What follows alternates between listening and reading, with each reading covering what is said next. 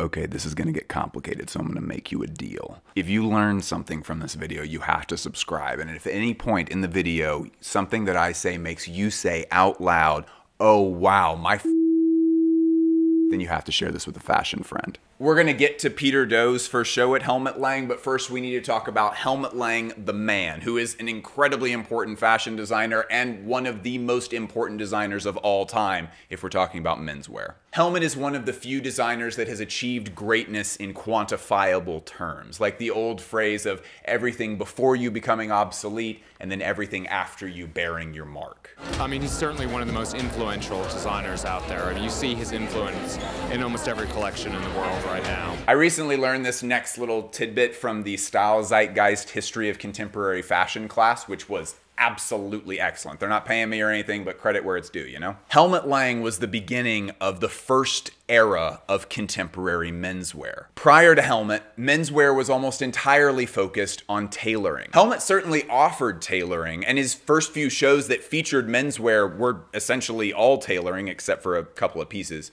But as he developed, he was able to give a designer's voice to casual menswear that hadn't existed before him. Helmut Lang started showing menswear specifically in 1987, and if we wind it back to that era for, from other brands, we can see that he really wasn't competing with a lot in the menswear world. Suiting definitely can be awesome, but it just doesn't work very well on a runway because it isn't very engaging visually from afar and certainly not via video. And it shows. I mean, Gianni Versace didn't do a separate men's show for a reason. It's because these smiley chads are not wearing very cool clothes. Really? Yeah, just a bunch of guys come out at one point and are just like, they're actually like going like that. Oh, but ultimately, I want to, I do want to stay focused here because this isn't an episode about Helmut Lang, the man. If you are interested in learning more about Helmut Lang, I have an incredible video where we interview the owner of the largest Helmut Lang archive on Earth, and that is Endyma. There's also a exclusive video that's only on the Patreon where I just have the uncut, unedited version where we just talk for two and a half straight hours about Helmut Lang's work. We get into a lot of really deep nuance. It's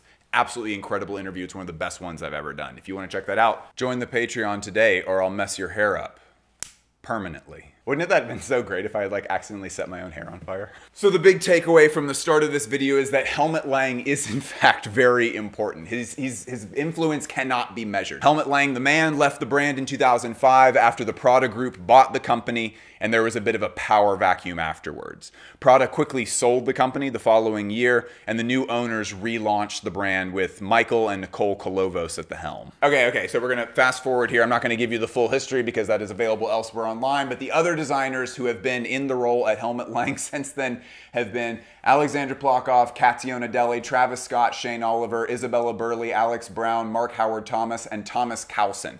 Now, I personally am not a huge like Helmut after Helmut hater, but that does seem like a lot of turnaround, and the output since Helmut departed has been more corporate than when Helmut was there, right? And I mean no shade to any of those designers in any way. And when I say no shade, I mean it. I mean, I, I worked at Helmut Lang after Helmut left as a low level sales clerk. I have a lot of respect for those people that led the creative direction while I was there. I am literally wearing Alexander Plokhov era Helmut Lang jeans right now. Additionally, uh, the Katsiona Deli stuff that was also available when I worked there, it was so cool on the women's side that when we would have rappers come through to like find like cool clothes for their tour or whatever, they would buy stuff from the women's side because they were like, this is just where all the cool stuff is. And hopefully I don't need to go on about how important Shayne Oliver is, but I, my personal unsubstantiated total guess theory is that Helmut Lang would have loved to bring him on permanently as their creative director, but they just couldn't afford him, so they just did one season together. And Shayne crushed it.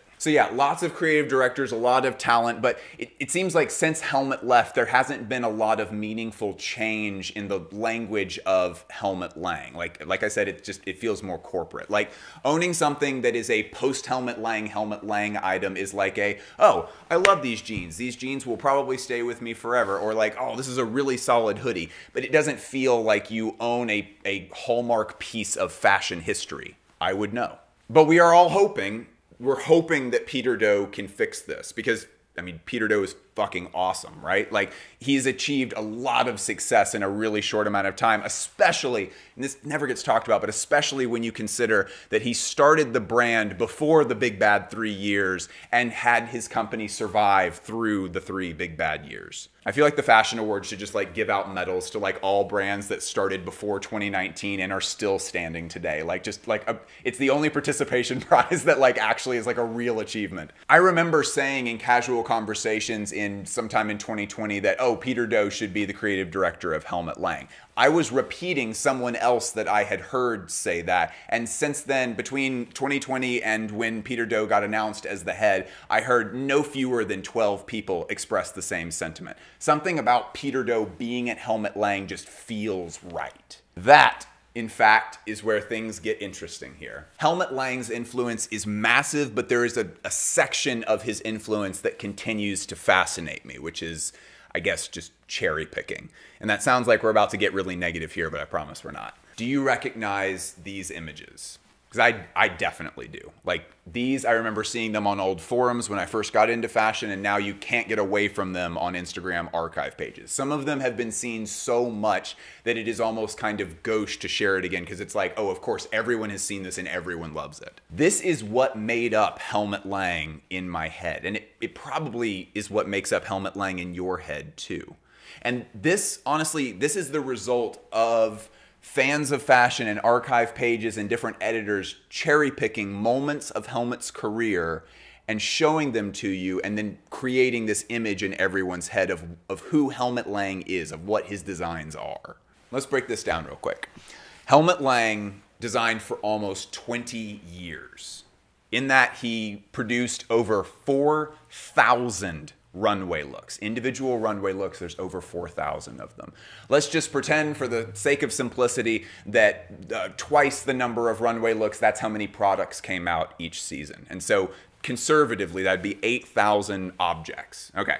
So, in total, Helmut is responsible for 12,000 things. Okay, now the full scope of that, every little piece, that is the body of Helmut Lang's fashion work. And in order to understand Helmut as a designer, you need to consider a great deal of, if not all, of the 12,000 things. Okay, wipe it clean. Start over with me. Reset. Imagine that you had never even heard of Helmut Lang, that you were just getting into fashion, and I was like, Oh, have you heard of Helmut Lang? And you said, No, I haven't. And then I showed you these pictures. I didn't even have to tell you anything. But what you might conclude is that Helmut Lang was this kind of master of color who was bucking up against the minimalism trend of the 90s by showing these like kind of pasty pastels. Obviously, that isn't true, or, or at least it's not the full story. I mean, I, I do in earnest, I, I, Bliss, the fashion critic, do believe that, that Helmut was bucking up against the minimalism of the mid 90s that he was kind of the forerunner of he was bucking up against that by saying like oh if i splash in a little bit of color here in a tasteful Helmut Lang way that will kind of be a nice refreshing thing for a lot of people. I think we could use a little bit of color.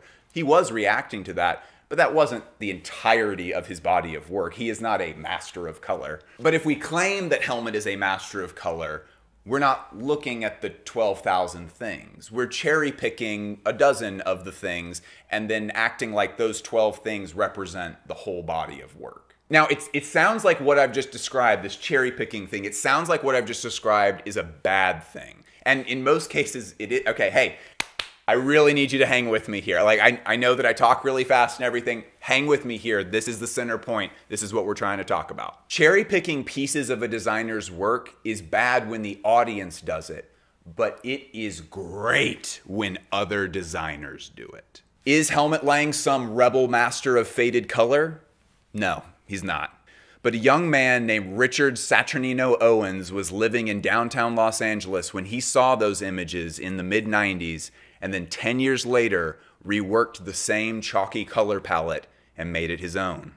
These muted, dusty, but still bright colors, those are a defining part of the first era of Rick's runway career. And when I went to go speak to Michael at Endyma and I got to see thousands and thousands of pieces all organized and displayed and labeled together, I understood that Helmut's work isn't just one thing, and it isn't five or 14 things either.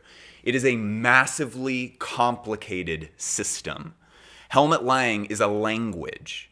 When someone has established a whole language, other designers often explore that language and form their own little poem in the language of their predecessors. Then they write another poem and then another poem, with the end goal being that eventually they'll divide the cell and they'll have their own language. Peter Do creates beautiful clothes in a genre that's been similarly crafted from cherry picking Helmut's 12,000 Things, some of the most famous and enduring images of Helmut's archive. And I definitely want to say that it's not like Peter Do has just molded his entire design language around Helmut Lang, but there is this kind of core, it, it feels natural to us. Again, there's a reason why when someone says like Peter Do at Helmut Lang, everyone goes, yes, that makes so much sense. I am so excited to see him divide the cell and further develop his own beautiful design language at his own brand while he gets to continue the legacy of one of his greatest influences at that brand. Hang tight, we not done. Okay, cool. Well, today is the beginning of New York Fashion Week, and I am going to start watching the Peter Do show right now, and I'm going to give my initial thoughts. Okay, on, on, on, on, on. It's starting. I'm so nervous. I've never done like an initial reaction type of thing. Yikes! Helmut Lang has 519 subscribers on YouTube. Well, the official live stream on YouTube hasn't started yet, but if you look at the Instagram one, there are people who are peering in from the windows, which is adorable. That's very. It's starting. Everybody, shut up! It's starting. Okay, the pre runway show short film has now concluded. I think the runway show is beginning. So I think this show is gonna have to, as this, there are more shows in the Helmut Lang Peter Do lineup. Um, I think it is gonna get more complex, but all things considered, for a first show, this is this has a lot of elements to it. Talking about the Helmut Lang colors thing, I did not like predict that or anything. It's just super weird, a strange coincidence that I was using that as an example of like a really niche part of Helmut's career.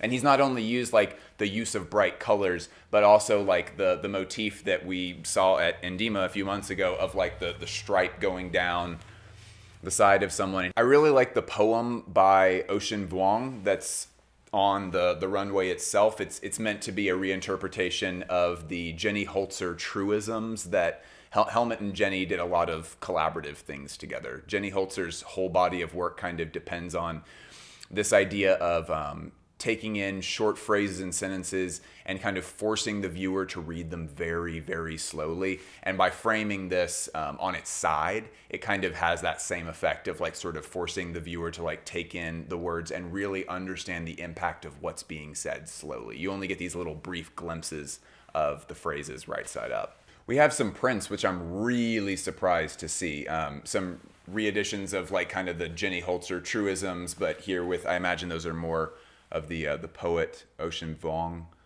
They they might be Jenny. Hang on, let me see if I can read one of them. Touch me so I know I am still here. Break me so I know I have changed. Yeah, yeah, that's not going to be Jenny Holzer. That's Ocean Vuong, which is cool. That's that's cool that like Peter Do has brought in another artist to kind of be like you're going to kind of come up with me here at the same time very similar to the way that Helmut did. That's awesome. And it's also very cool that both of them are Vietnamese. So yeah the stripe motif like the stripe almost as like a printed sash that's that's something that clearly is being used a whole lot. A lot of color blocking. Um, some of the color blocking sort of looked like a cast like it was almost like a cast on their sleeve. There's also this um, it, it really wouldn't be a Helmut Lang show if they didn't have very normal clothes. Because what what helmut actually brought in terms of like innovation and stuff was the like crystallization of the idea of a casual uniform made by a designer. So with that comes the necessity that you have to like do just like normal clothes. Helmut certainly had lots of stuff that was very bombastic and there's stuff in here that's bombastic but there there has to be normal clothes in order for it to be a Helmut Lang show. We can't have it like a Rick Owens show where it's like every single look is just this like parade of craziness. That stuff is awesome, but in the context of Helmut, I I would it would feel out of place if there wasn't some staid, more like uniform, just like tank top and jeans type of looks. And the, the colors in a few of the looks make up the Vietnamese flag colors. I think we're to the flood now. Are we to the flood? Everybody's just kind of like crisscrossing and just sort of like going crazy with the, the directions for things. It also seemed like some of the models were being specifically directed to stare directly into the cameras that are doing the live stream, which is a cool touch. I'm not sure I've seen very many shows doing that before. I think the pattern maybe that they're walking around in is supposed to resemble like how people walk around in New York, which is a a, a big jaywalking city. like in LA, like they're like nobody jaywalks ever because I'm honestly not sure why. There's tons of cars in both places, but yeah, in New York, everyone is like kind of always crisscrossing, and it feels very chaotic. So maybe this is a little nod to New Yorkness. I really like the phrase "Your car was my first room." Um, when we read the show notes, which were also written by Ocean Vuong, it's uh, it talks about how cars for young queer folks are these places where they get to talk without whispering, and they get to go and finally cry, and they get like some kind of emotional relief and distance and stuff. Like Peter Do being a very influenced by cars is much more than just like oh like mechanisms and engines are so beautiful. It is it is kind of uh, um, well, I mean, I think Ocean put it very well that it's like your car was my first room. Very touching. Some of these models, even um, some of the guys that look a little bit older, like maybe they're closer to my age, um, those really look like the Helmut Lang man from back in the day. I wonder if they reused any models. We just have confirmation from Style.com that indeed there are models from the 90s at Helmut Lang that are back on the runway with this show. That's a very cool touch. I love that. And I mean, Helmut himself, I think I know Margiela was like this. I'm trying to remember if Helmut Lang was on that same train of like, it doesn't matter if you're a little bit older. Like everybody can be a model. It's about people. It's not about like being 20 years old. Yeah, I mean, uh, we we talked about this in an episode a long time ago, but like you have to. Uh, okay. Hey, what's up? How are you? Okay, so now we need to figure out. Sorry about that, folks. Now we need to figure out if uh, Peter is going to come out wearing a mask or not. Spoiler alert, I'm no longer watching live. Ah. Oh, he's out. Yep, he's got the mask on. Wearing his own clothes from the collection. Oh. That's very sweet. No, I love that. It's crazy, man. The pressure is crazy. All right, Pete. That's chapter one. We talked about it a few months ago on the channel here, but um, when a new creative director starts at a big house, the the first two years, the first four shows are about establishing a strong foundation and usually a very simple foundation from which you can build out your world.